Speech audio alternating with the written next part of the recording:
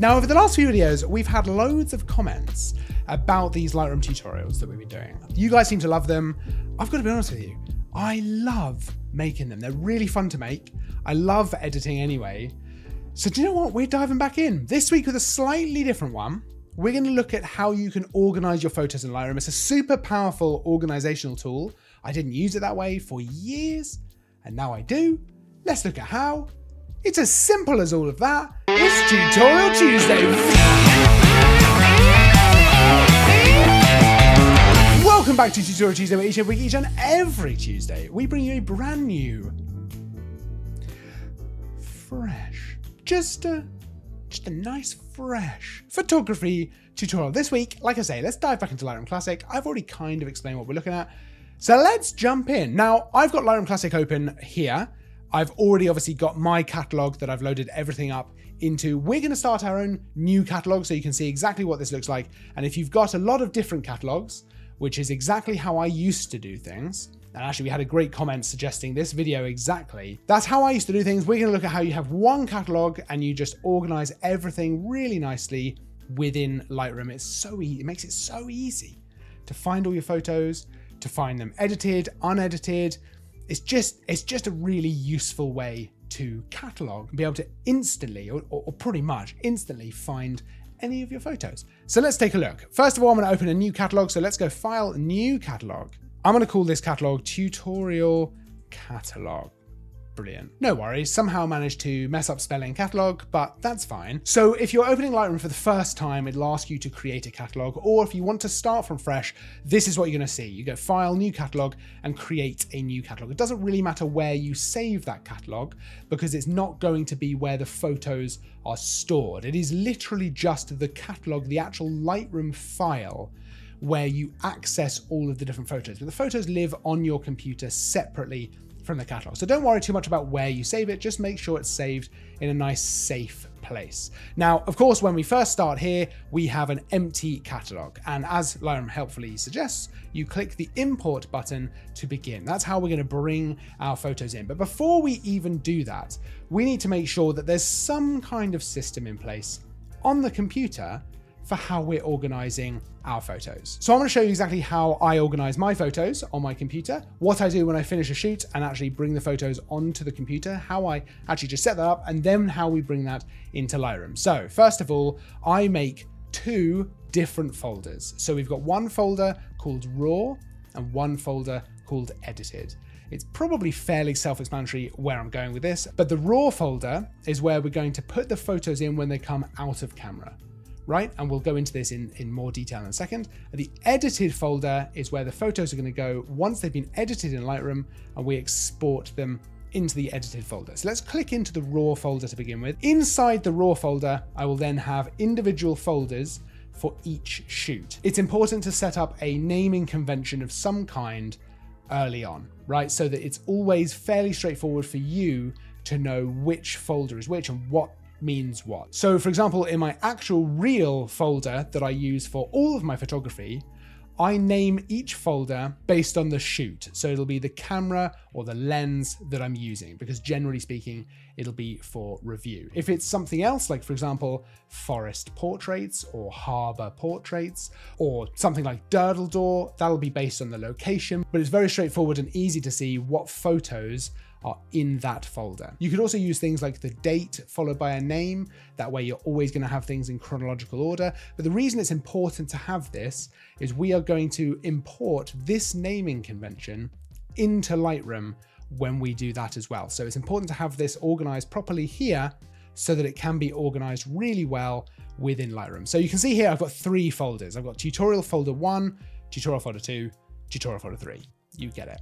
Each of these has some photos in, which are actually just from different cameras. I've just done this for the purposes of this tutorial. But if I just come back from a shoot, I would plug my camera into my computer, I would create a new folder, name it something, and then bring those photos into that new folder. If we now go back, we can see in the edited folder, I have the exact same naming convention for the folders. So tutorial folder one, two, and three. And then once I've edited the photos in Lightroom, I will export them into the correct folder. So photos from tutorial folder one get edited in Lightroom and then exported into this tutorial folder one within the edited folder. So we've got a nice system starting unedited, going through Lightroom, and then going into the edited folder. So it's really easy to always find everything that I want to find. But once you've set this up, you can really find everything inside Lightroom. I'm gonna show you how. Okay, so back into Lightroom here, we are going to import our first set of photos. So in the library tab up on the top right,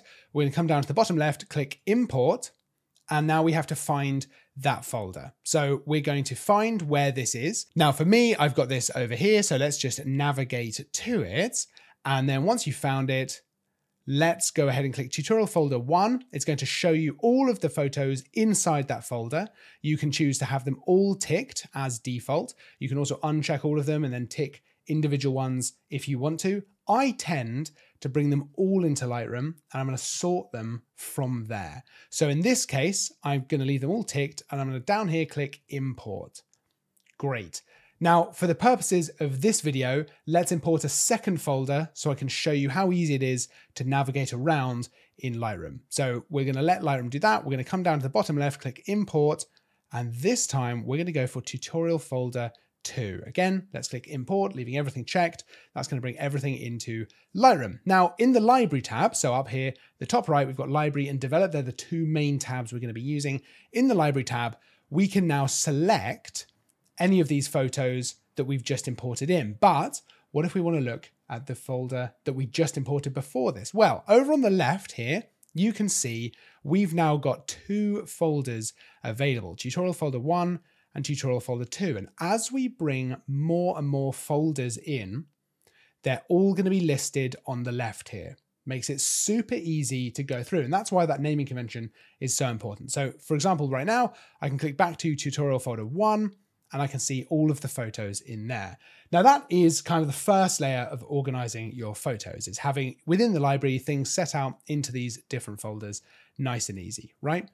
Let's take a closer look at some of these photos because what about actually choosing which photos we want to edit? We don't necessarily want to edit all of these. These are just every photo. We've just brought them into Lightroom.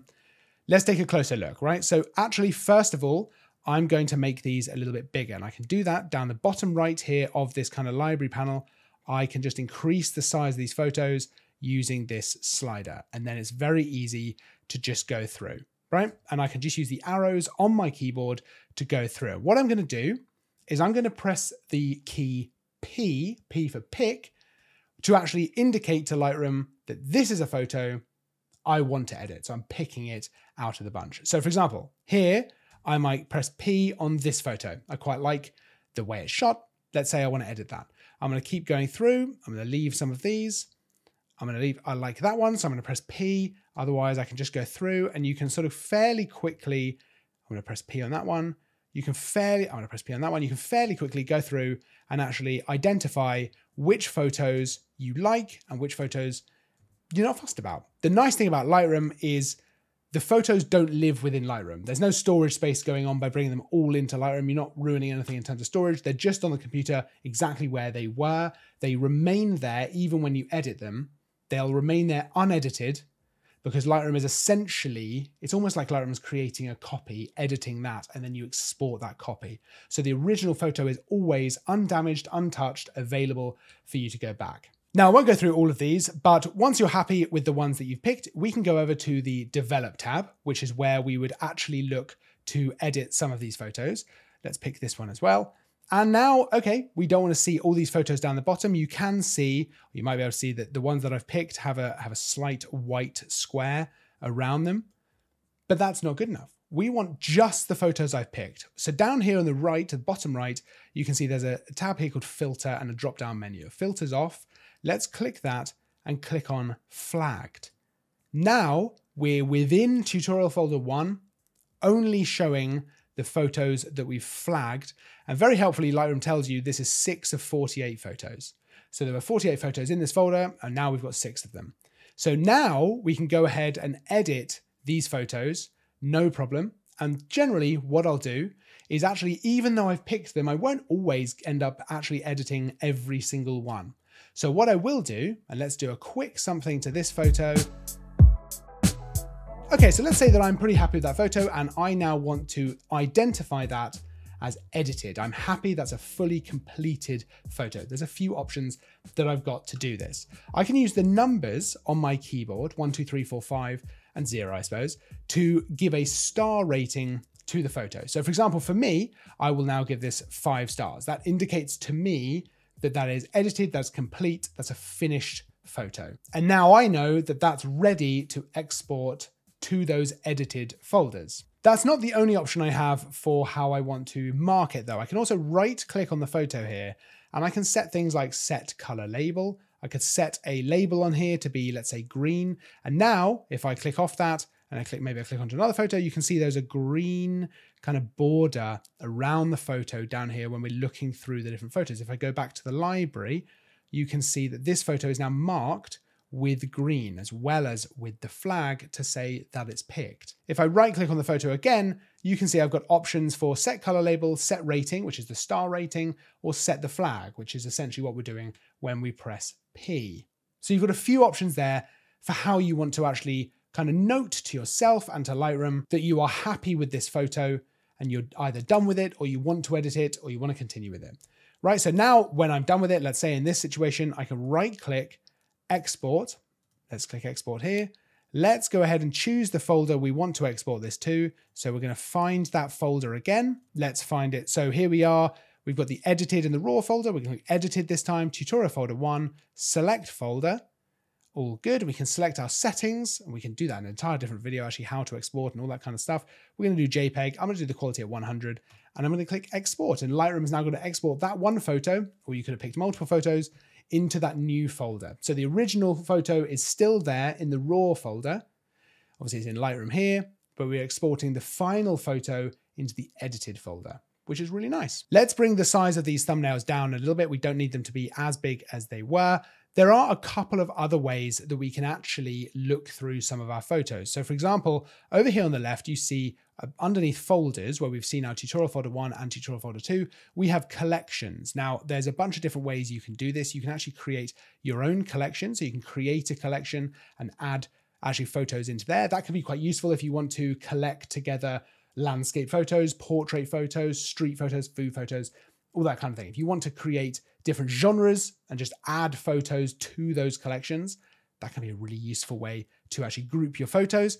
Otherwise, we can come down to smart collections, which is something that uh, Lightroom automatically does for you.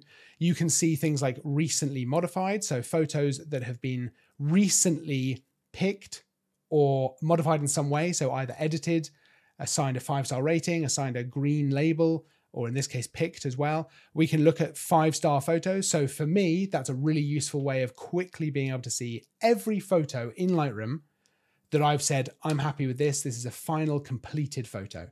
That's a really useful thing to have available to me. Otherwise, I can look at things like colored red. So for example, you can set the color label. Let's go back to tutorial photo one. Let's go filters flagged. Let's set this one, for example. Let's go ahead and set a color label of red. And now when I go down to the collections, the smart collections colored red, you can see that photo is in there. So if you wanted to label things that way, that is going to be really useful. We can create our own smart collections. So by clicking on this little symbol here, we can obviously create our own collections, but we can create smart collection. That way we can create rules which will put photos into that collection. And we have lots of options for how we want to do that. So we can click here to change a lot of these different things, the rating, pick flag. So we could set a smart collection, which is every picked photo. We could also set things for different locations if you have that in the metadata. Dates, again, from the metadata, so that's automatic. If you're using lots of different cameras, you can again take from that metadata and actually use smart collections to create collections based around which camera that you've been using or which lens, which is really, that can be really useful. And of course, things like the color labels, that's very easy to do. So for example, we can click color label there, is, and then we can click which color we want to actually set as a smart collection for once we color things. So for example, if we go color green and we click create, within this, we're going to see that now that photo where we colored it green is already in that collection. Any photo we now color green is going into this collection. So that's a really easy and useful way to quickly be able to collect things together. This is actually incredibly intuitive and very easy to get to grips with and the flow of it. It can seem a little bit overwhelming at first, But once you start doing it for yourself, you bring those files in, you start collecting them into different folders, create those collections, you'll find that the actual organization within Lightroom is extremely good. It's very, very strong, and it really allows you to pretty much use Lightroom exclusively for your organization. I certainly use it for all of my organization with my photos. And then in the background on my computer, I just have those folders where all the photos actually live. And the great thing, like I said before about Lightroom, it's all non-destructive. The original photo, the original raw photo in these cases, exists always untouched, ready to be re-edited or moved or anything you like. So you've got the edited photo and the raw photo. Now, there's loads of stuff that we're going to cover in Lightroom going forward, but I would love to hear from you because you've got great suggestions. Honestly, a lot of these videos have come from your suggestions. Anything you would like to see specifically, I want to make sure to get to that first before we get to some of the other stuff. So let me know if there's anything specific you'd like to see in our Lightroom tutorials, and I will do my absolute best to get to that as soon as possible. If you're new here, don't forget to like and subscribe because there's new content all the time, new tutorials every Tuesday, product reviews as well, loads of stuff. There's loads of stuff, to be honest with you. Loads of different stuff. We've got a full list of all the kit that we use for these videos, for these photos, for all that kind of stuff down in the description. Until next time, though, I will see you in the next video. But until then, as always, thanks for watching.